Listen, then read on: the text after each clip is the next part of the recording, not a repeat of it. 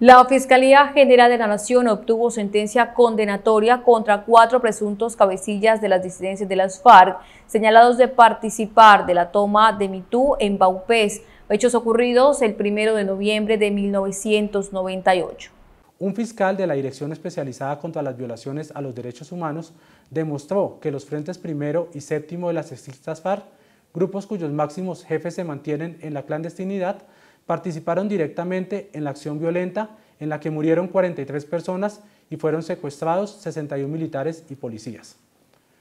En ese sentido, una juez penal especializada de Villavicencio condenó a Miguel Botache Santillana, alias Gentil Duarte, a 40 años de prisión por los delitos de homicidio agravado, desaparición forzada, por el caso del intendente Luis Hernando Peña, de quien se desconoce su paradero, y secuestro extorsivo agravado por la retención de los comandantes de policía en Baupés para la época, los entonces coroneles Luis Erlindo Mendieta Valle y el capitán Enrique Murillo Sánchez. También fueron sentenciados alias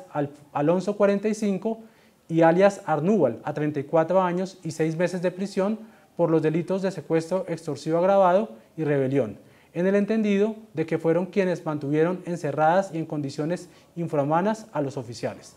Finalmente fue condenado Néstor Gregorio Vera Fernández, alias Iván Mordisco, a seis años de prisión por el delito de rebelión.